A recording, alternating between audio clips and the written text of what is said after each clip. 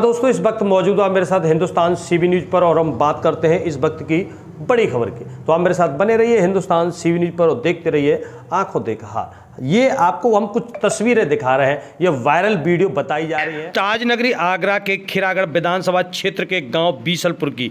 बीसलपुर स्थित प्राथमिक विद्यालय, उच्च प्राथमिक विद्यालय में, देखिए किस प्रकार बाउंड्री बॉल न होने के चलते छात्र छात्राएँ परेशान हैं। आप ये लाइव तस्वीरें देख रहे हैं बीसलपुर गाँव की। देखिए किस प्रकार विद्यालय में आवारा जानवर आपको घूमते हुए दिखाई दे रहे हैं, जबकि विद्यालय संचालित है। इसके साथ साथ विद्यालय बंद होने के बाद विद्यालय के प्रांगण में देखिए किस प्रकार आवारा गौवंश भी अपना डेरा जमा लेते हैं। साथ ही साथ आप तस्वीरों में देख रहे हैं, देखिए किस प्रकार आवारा गौवंशों ने अपना डेरा जमा लिया है और यह विद्यालय आप देख रहे हो किस प्रकार विद्यालय के अंदर बाउंड्री वॉल ना होने के चलते विद्यालय के अंदर देखिए किस प्रकार आवारा गौवंश पहुँच जाते हैं।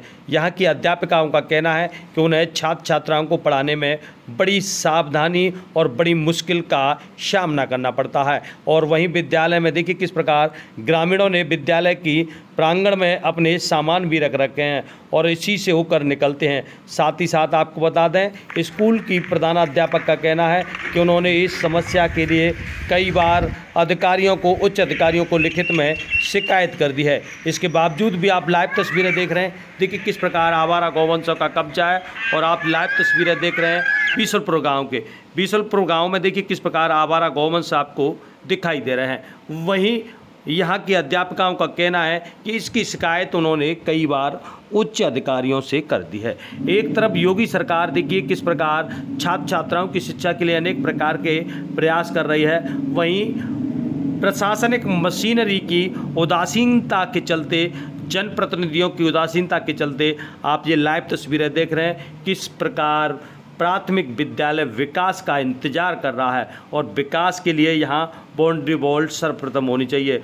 बाउंड्री बॉल न होने के चलते यहाँ की अध्यापिकाएँ, यहाँ के छात्र छात्राएँ काफ़ी परेशान हैं। तो आइए जानते हैं क्या कुछ कहना है यहाँ की अध्यापिकाओं का। वहीं खबरों में बने रहने के लिए सब्सक्राइब कीजिए। हिंदुस्तान सी न्यूज़ और बने रहिए खबरों के साथ। प्रधानाध्यापिका, इंचार्ज प्रधानाध्यापिका के पद पर कार्यरत हूँ। मेरा नाम बबीता जामगीर है। मैं पिछले दस वर्ष से इस स्कूल में कार्यरत हूँ। इस विद्यालय में बाउंड्री वॉल नहीं है। बिना बाउंड्री वॉल के बहुत दिक्कतों का सामना करना पड़ता है। विद्यालय में नामांकन स्तर जब मैं यहाँ पे आई थी तब ठीक ठाक था। पर दिन प्रतिदिन बाउंड्री वॉल ना होने की वजह से नामांकन स्तर भी गिरता जा रहा है। आपने कई बड़े अधिकारियों को एप्लीकेशन डाली आपने? हाँ मैं हर बार जब भी शिकायत जब भी मुझे मौका मिलता है मैं हर बार शिकायत करती हूँ। और अधिकारियों ने अभी तक इसकी कोई सुनवाई नहीं की। कितने- बार। अब तक करीब पचासों बार मैं सूचना अधिकारी तक पहुँचा चुकी हूँ कि बाउंड्री वॉल नहीं है? गाँव वाले सहमत हैं इस चीज़ से? हाँ गाँव वाले सहमत है पर आप आसपास के कुछ लोग असहमत भी हैं।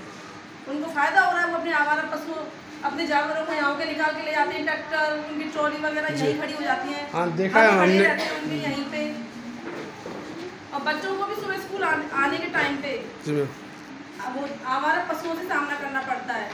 कई बार तो बच्चों को वो ठोकर भी दे चुके हैं। एवं तालाब भी बताया गया कि तालाब के आसपास बच्चों को दिक्कत होती हाँ है। तालाब है। स्कूल के पास एक तालाब भी है जहाँ बहुत ही गंदगी रहती है। मच्छरों का भी डर रहता है। जी। हाँ बच्चों आप लोग कुछ बोलोगे? कहना चाहोगे कुछ आप लोग? किसको क्या दिक्कत है बेटा? बताना यहाँ पे। बच्चा बोलना चाहेगा बोलो। यहाँ पे कोई आवारा पशु आपको कोई घटना पहुँचाई आप लोगों को? अच्छा और यहाँ सुबह आते हो आपको कोई दिक्कत होती है यहाँ पे? क्या परेशानी होती है बच्चे वहाँ पे गाय बच्चे होते हैं वो क्या कहते हैं वो डर लगता है उनसे अच्छा अच्छा अच्छा। जी ओके ओके। ठीक हाँ। मैम आप कुछ बोलोगे? आप कुछ बगल में कुआँ भी है। एक अच्छा, अच्छा। हाँ उसमें भी बच्चों का डर रहता है। जी, मैम। क्योंकि अगर बाउंड्री होती तो ये हमारे बच्चे सेफ़ हैं। कुआ भी है और आवर पशु भी आ जाते हैं। और सर्दियों में क्या है? तरफ़ भी कुटती है यहाँ ग्राउंड में। और गर्मियों में भूस वगैरह भी खाली होता है। यहाँ पे जेंट्स स्टाफ एक भी नहीं नहीं, मतलब नहीं। पूरा लेडीज़ स्टाफ है। नहीं तो लेडीज़ स्टाफ कोई भी जेंट्स टीचर नहीं है। अच्छा तो पढ़ाने में दिक्कत होती होगी आप लोगों को? पढ़ाने में भी दिक्कत होती हाँ है बहुत दिक्कतों का सामना करना पड़ता गाड़ी वगैरह आ जाती है वो यहीं पे खड़ी रहती है। कई लोग तो के यहाँ यहाँ का पर भी प्रोग्राम होता है ना तो स्कूल के ग्राउंड में ही वाहन वगैरह पड़ोस में कोई फ़ंक्शन होता है तो पड़ोसी लोग यहीं पे ही अपने प्रोग्राम को यहीं होकर रैली निकाल के ले आते हैं सारे प्रोग्राम